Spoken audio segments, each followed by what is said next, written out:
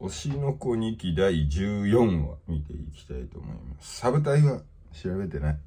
なんだろうね。で、えー、っと、ま、次回予告の感じっていうか、前回のケツだとあれだね。黒川茜とアクアが、その、舞台のお勉強をしに行くっていう感じらしいけど、どうなるんだろうか。楽しみなので早速見ていきたいと思います。もしこの動画良かったら高評価、チャンネル登録、コメントよろしくお願いします。Twitter もやっておりますので、フォローお待ちしております。よろしくお願いします。よしはい、それでは、アベマ TV で再生していきます。3、2、1、スタート。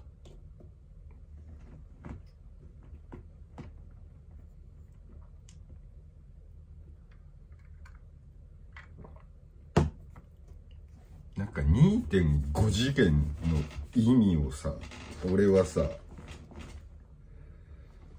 あれだったの？なんか、勘違いしてたっぽい俺自身が。なんか元があってそれを3次元の人間がやるから2.5なんかなと思ったけど、どうやら違うらしいね。だかその映像と舞台とを使うから2.5っていうのをコメントで教えてもらって、はあ、すげえな。世の中には知らんことがいっぱいだなと思って。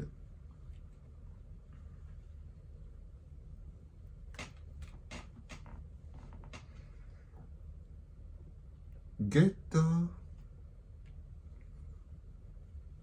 なんかまだ知らないキャラクターもいるからな。いつか出てくんだろうな。誰？っていう人おるし。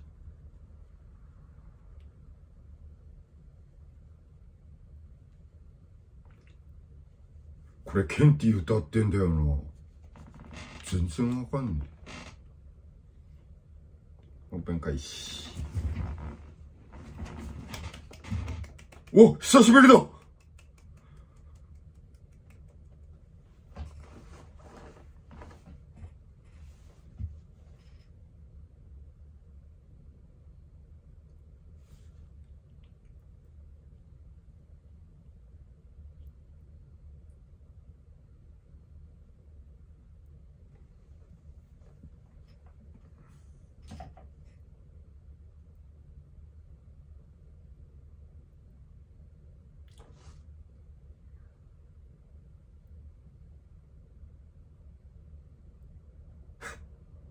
警察に話して。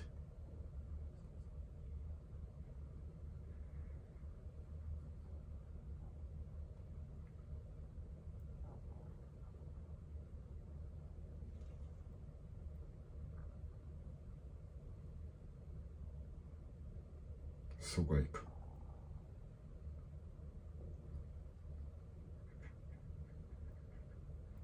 眠っちょだ。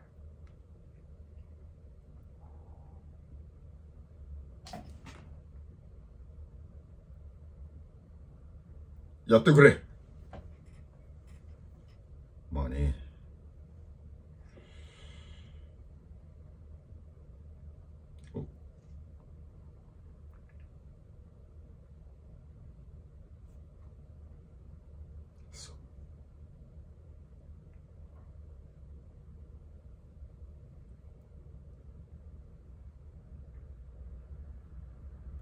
今ちょっとね、ちょっと今言ってるんで。お勉強で。卓球か。テニプリみたいなものな。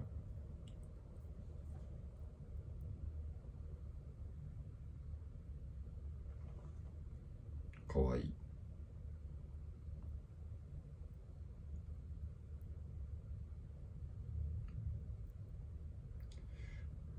手に見うすぎない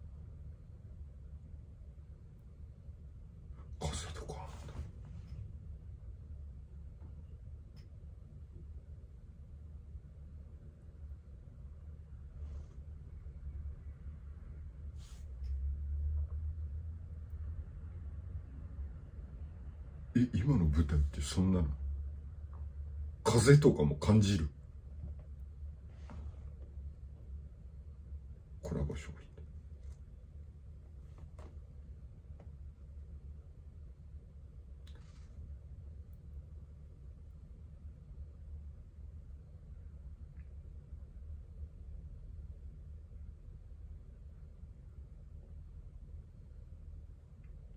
品。ええー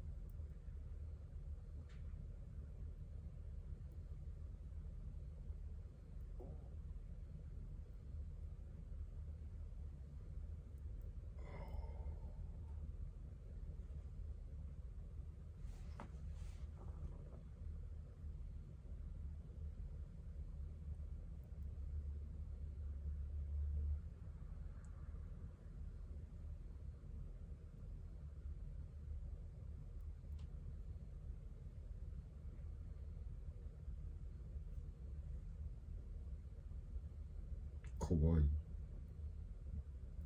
かわいい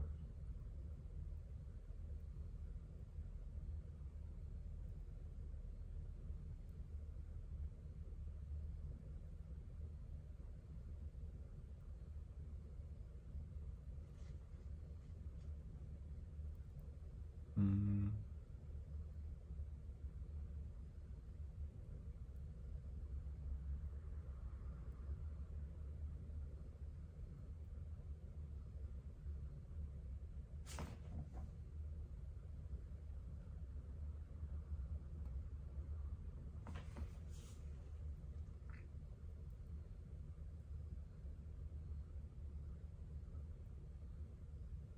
へえ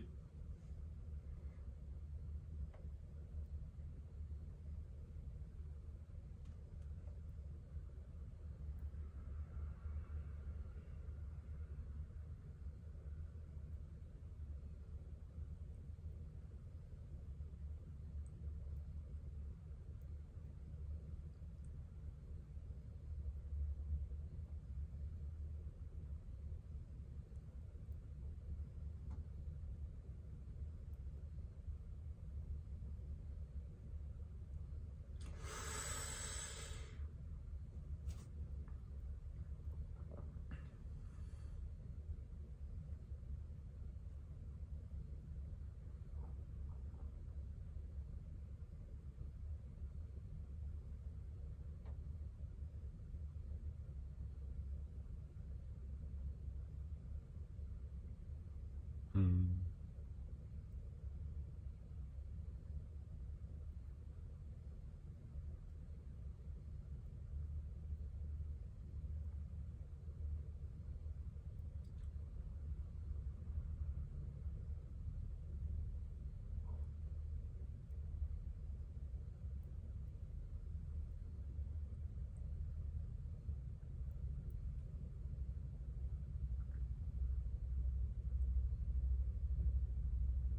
ええ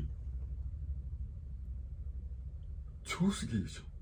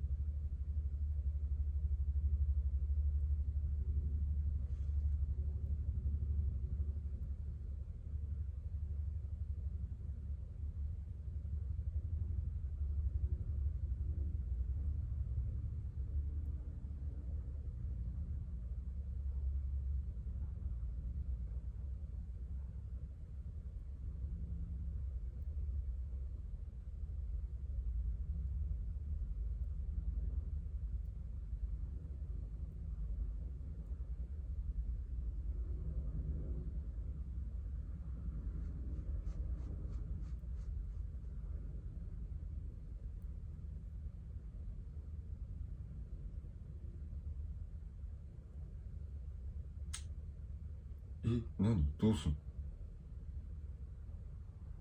の？待って吉祥寺先生の。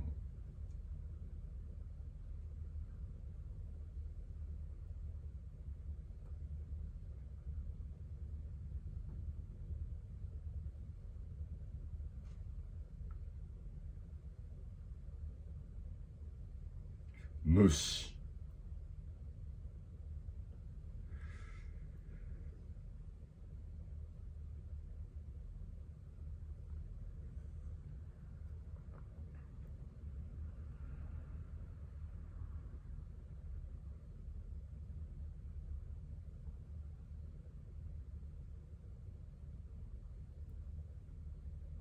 哦。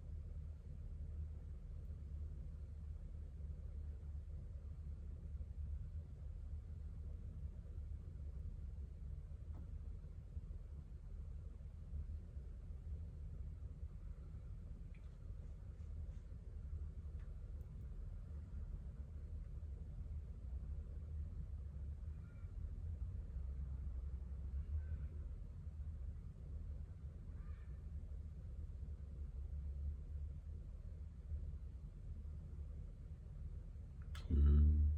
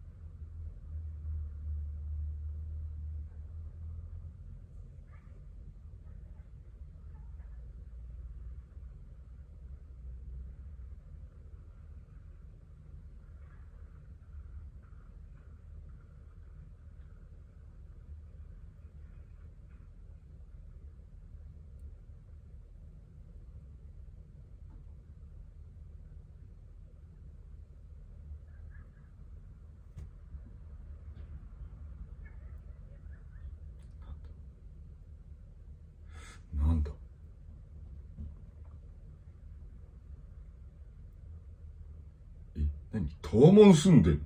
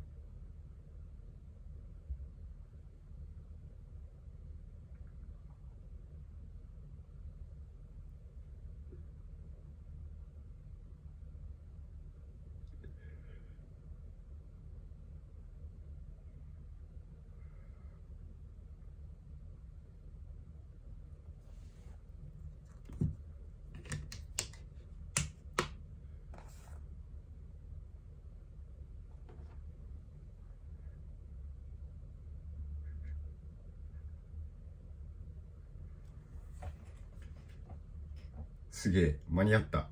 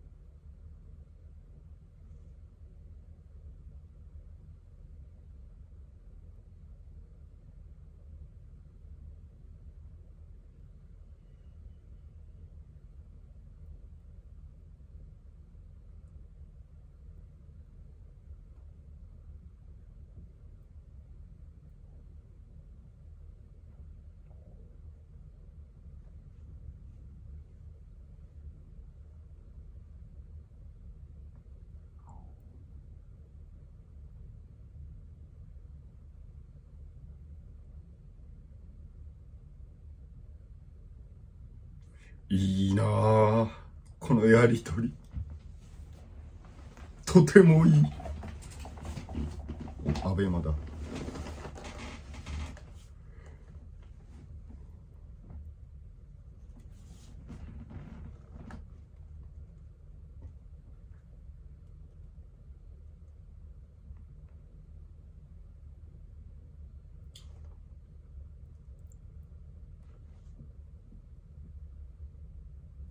舞台見に行けっていうことか。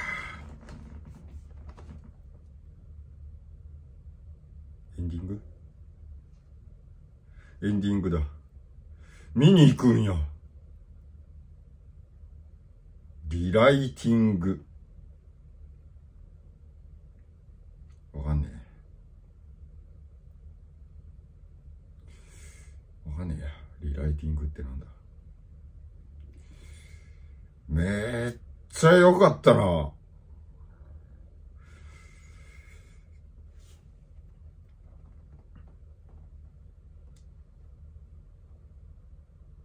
しょうがねえよな。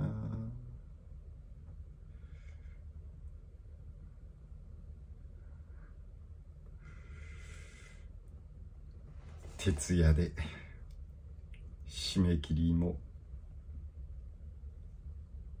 アウトの状態で一人で全部抱えてやらないといけねえみたいなさそこに師匠が登場して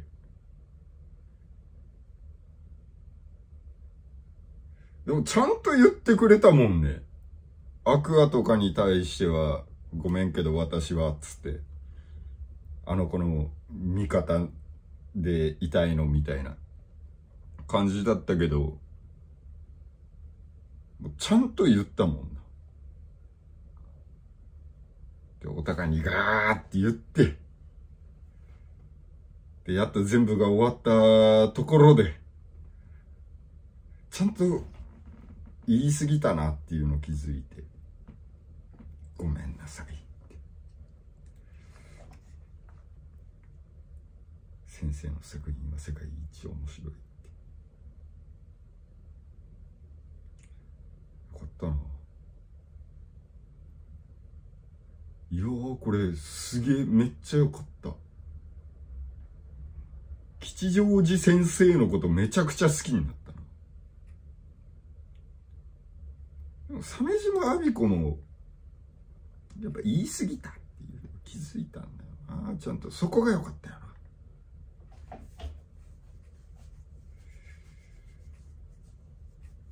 なんか本当全部先生の言う通りだったな。特に挫折を味わうことなく売れまくったからなんか私が一番だみたいになってるとか妥協したくない気持ちはわかるけどつって。いやすげえめっちゃいい話やん。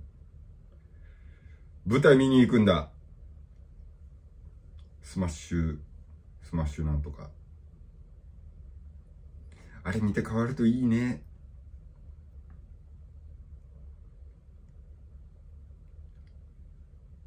クアがあんだけ言って相当じゃない？